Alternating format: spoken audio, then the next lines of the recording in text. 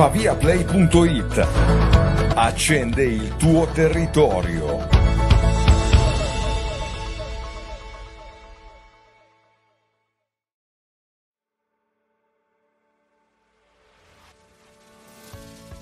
Buongiorno, buongiorno, bollettino numero 21, settimana 45, da lunedì 7 a domenica 13 novembre. Come sempre notizie arrivano da Whatsapp, eh, Osservatorio Strade, mass media, enti preposti alla gestione del traffico. Partiamo subito con Pavia, anzi prima di questo eh, ringraziamo sempre Stefania Parato, Alessio Molteni, Stefano Zanette, Pavia Play e Riense TV per il supporto comunicativo.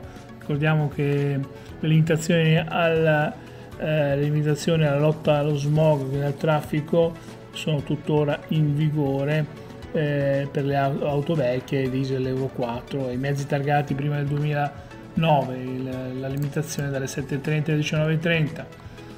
Allora, partiamo subito con i lavori di asfaltatura, sta comunale Pavia, ehm, sono lavori mh, previsti stradali di fresatura e asfaltatura, quindi sono lavori abbastanza impegnativi e importanti eh, come abbiamo visto sono iniziati pressoché conclusi quelli in via dell'indipendenza e dovrebbero essere praticamente conclusi mentre dal 3 all'8 novembre i lavori si trasferiranno in via Ludico Moro qui gli operai eh, lavoreranno fino al 9 novembre si concentreranno nella parte di via Ludico Moro eh, che si trova di fronte alla chiesa della Sacra Famiglia e la continuazione che poi porta all'incrocio con via Tasso quindi in quella zona in pratica ci sono queste attività di asfaltatura. Poi, sempre in Pavia, dall'8 di novembre all'11 novembre, eh, via Flarer. Qui via Flarer, zona Pavia Ovest, anche qua ci saranno questi lavori di scarificazione e asfalto.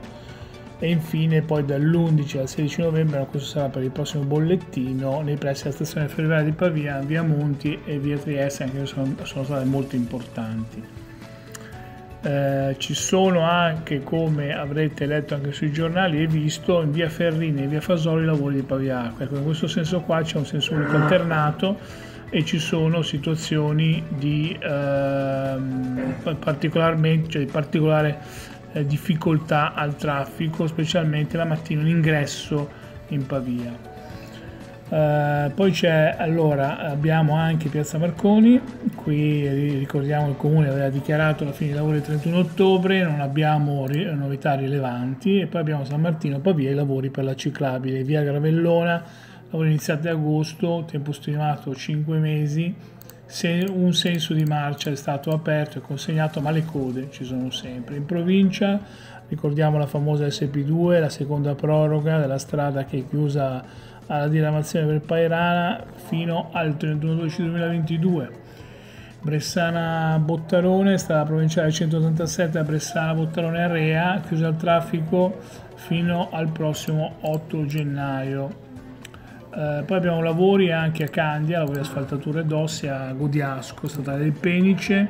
Inoltre poi ci saranno in corso ancora altre attività di asfaltatura per la strada provinciale 15, la 127, la 59 e la 46. Parliamo di Maccabruma tra Rovescala e il confine con la provincia di, Pavia, di Piacenza, scusate, Rossarola e la Brona in Fumo. Per quanto riguarda le autostrade, la 21, eh, sempre lavoro in corso tra, eh, in direzione Piacenza, tra, sempre tra Stadella e Casatisma e eh, anche nel senso opposto. Eh, nel primo caso in direzione Piacenza finiranno al 17 di novembre, nel secondo caso in direzione Torino al 25 di novembre.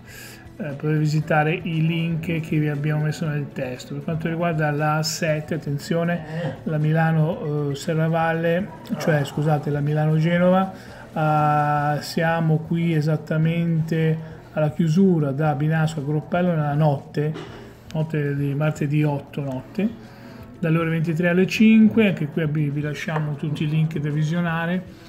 E niente, sono arrivato alla conclusione, come, tutte, come tutti i bollettini, invitiamo sempre a seguire il codice della strada, a dotarvi da dashcam e a segnalare su eh, L24 Facebook o Whatsapp.